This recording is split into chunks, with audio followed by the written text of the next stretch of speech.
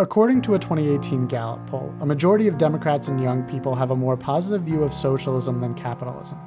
For opponents of socialism, the growing support is baffling. Have the socialists forgotten about the poverty and oppression of the Soviet Union? What about China, North Korea, Venezuela?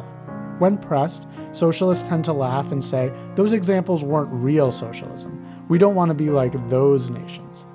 But there's a problem. Dr. Kristian Niemietz of the Institute for Economic Affairs decided to look back in time to see what the socialists had to say before the horrors of those nations became clear. What did he find? The claim of fake socialism is only ever made after the event. As long as the socialist project is in its prime, almost nobody claims that it is not real socialism.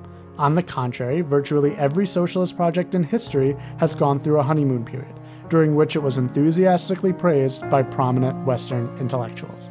Look at the Soviet Union under Stalin. Until his successor Nikita Khrushchev made a secret speech admitting Stalin's horrors that leaked in 1956, support for Soviet socialism was common. Corliss Lamont, then director of the ACLU, supported the Soviet Union, as did Julian Huxley, a founding member of the World Wildlife Fund and UNESCO's first director. Ditto for playwright George Bernard Shaw, New York Times journalist Walter Duranty, novelist Upton Sinclair, musician and civil rights activist Paul Robeson, the co founders of the London School of Economics and the New Statesman magazine Sidney and Beatrice Webb, and countless others. It's just as easy to look at China.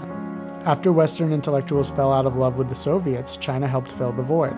Corliss Lamont supported Mao as well, as did famed French philosophers Simone de Beauvoir and Jean Paul Sartre, The Guardian editor John Gittings, New York Times correspondent Harrison Evans Salisbury, and many more academics and intellectuals. Meanwhile, Mao's great leap forward was killing millions of his people. Or take Cuba. Castro's socialism was supported by Black Panther Party founder Huey Newton and member Angela Davis, filmmaker Susan Sontag, novelist Norman Mailer, and more.